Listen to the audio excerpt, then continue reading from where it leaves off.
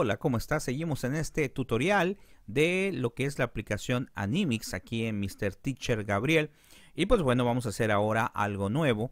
Vamos a irnos nuevamente a ponerle lo que es un fondo. Solo que en esta ocasión no voy a poner un fondo propiamente de una imagen que yo tenga, sino vamos a poner un clic en más y vamos a ver las opciones que tengo acá, que vean que son algunos ejemplos, aunque tarde un poquito en aparecer pero son algunos ejemplos de imágenes que yo puedo utilizar en determinado momento.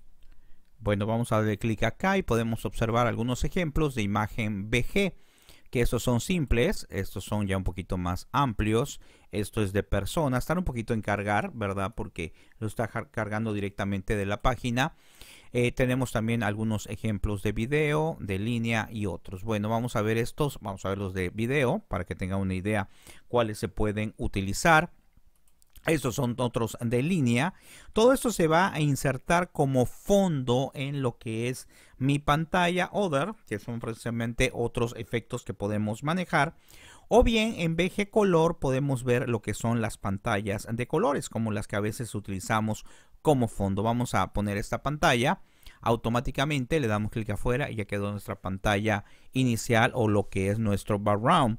Ahora lo que vamos a hacer es insertar, esto es importante porque este fondo, ¿verdad? Queda en toda la pantalla. Sin embargo, aquí me aparece un signo de más por si yo necesito cambiar el fondo. Es decir, él presupone que este fondo es para todo mi proyecto o al menos para lo que es mi primera diapositiva.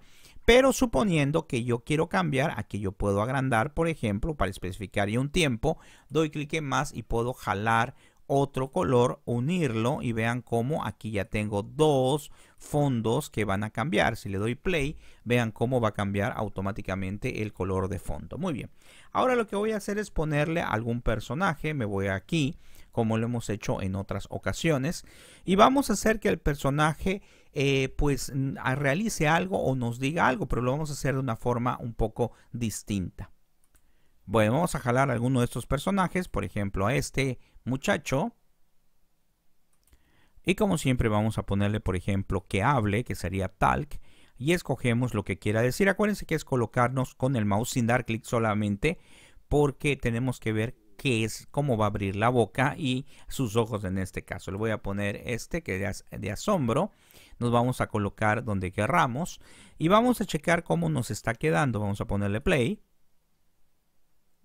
¿Ok? Y vean qué fue lo que ocurrió. Aquí hubo un problema porque aparentemente no hizo nada. Vamos a ver, nada más se movió. Quiere decir que hay que aumentar lo que es el tiempo de acá. Vean, no, se, no alcanzó a verse que hablara. Ahora sí debe de aparecer. Ahí está. Porque solamente tenía la parte corta. Vamos a aumentarle más. Y si yo quiero puedo ponerle este como fondo para la segunda parte de la escena. Y aquí voy a alargar lo que es el fondo de color rojo. ¿Verdad? De color amarillo, perdón, aquí aparece el rojo. Muy bien, vamos a darle play a ver cómo quedó. Ok, ya estamos viendo cómo aparece ahí y repite lo que es la animación. Si yo no le pongo otra, otra animación, me va a repetir. Vean, aquí acaba, deja de hablar y vuelve a hacer el mismo procedimiento. Entonces voy a cortarlo acá mejor para que no se repita lo que está diciendo y es ir jugando con las posiciones de fondo, con todo lo que tengo en mi línea de tiempo propiamente para trabajar. Ahora lo que voy a hacer lo que hicimos en el video anterior, si no viste el video anterior, pues es conveniente que lo veas porque ahí hicimos lo que es un diálogo entre dos personajes.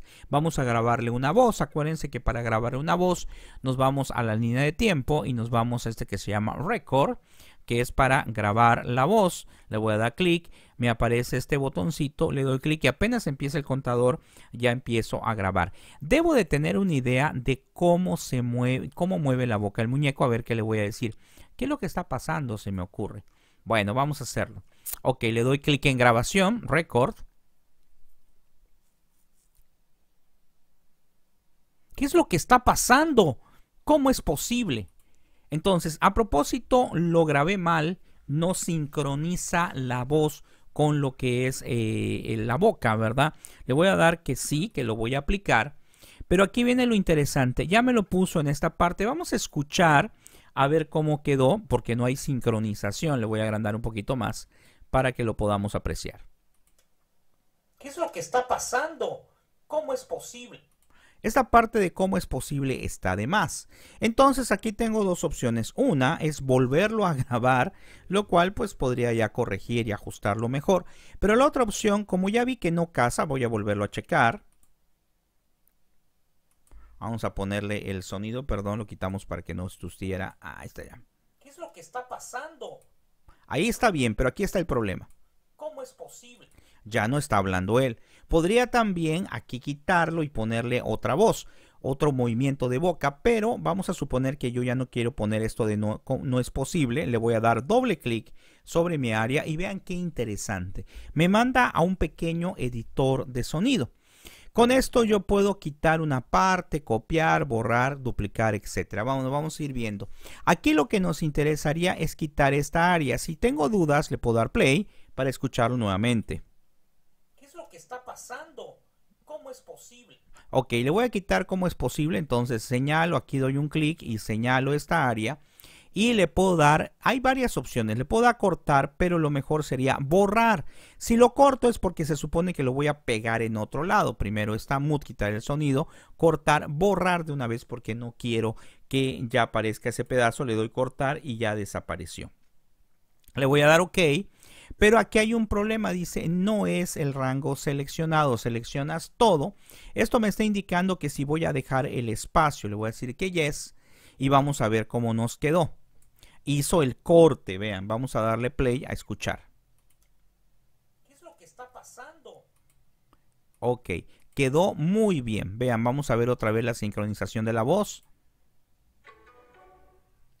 Ay, perdón, le, le bajé el volumen. Vamos a volverlo a checar. Hoy sí. ¿Qué es lo que está pasando?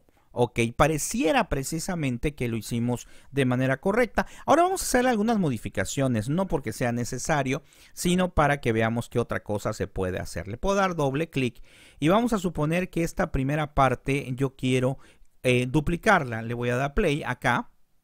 Aquí me muestra todo, ¿eh? Si yo me voy acá y le señalo, por ejemplo, este pedacito nada más y doy play acá, eh, me va a mostrar solamente hasta el pedacito donde termina. Vamos a checarlo. En cambio, si lo doy desde acá, vamos a ver qué pasa. ¿Qué es lo que está pasando? Quiere decir que este play me reproduce todo y este play de acá me reproduce solamente el rango seleccionado. Bueno, le vamos a dar doble clic acá para checar y vamos a suponer que hay una parte que yo quiero duplicar. Por ejemplo, este pedacito lo señalo, le voy a dar copiar y tengo que dar pase en donde lo voy a poner. Aquí es importante porque vean que me muestra drag que es para mover me muestra este que es para copiar lo mismo que este o me muestra este que es para borrar. Digamos que estos son los mismos menús pero rápidos. Entonces le voy a dar copiar, dijimos, voy a irme acá. Tengo que señalar dónde lo voy a poner y le voy a poner paste y ya se pegó. ¿Ok? Entonces vean cómo ya tengo dos veces el mismo. Esto es importante porque este play me va a mostrar todo y este solamente es cuando quiero mostrar solo lo seleccionado. Vamos a ver cómo se escucha todo. Ok, hice aquí un duplicado. Si no lo quisiera, bueno, lo puedo borrar. Perfecto. Vamos a suponer que quede como estaba antes. Le puedo dar reset o reset el original. Reset es para que regrese lo último que realicé y este sería el original tal como estaba de manera inicial sin haberle hecho ningún cambio. Aquí yo puedo aumentar o disminuir el espacio de sonido por si quiero realizar una copia, por ejemplo, de este lado. Así me permite aumentar lo que es el espacio del sonido. Vamos a darle OK. Y esto es lo que podemos precisamente editar con el sonido.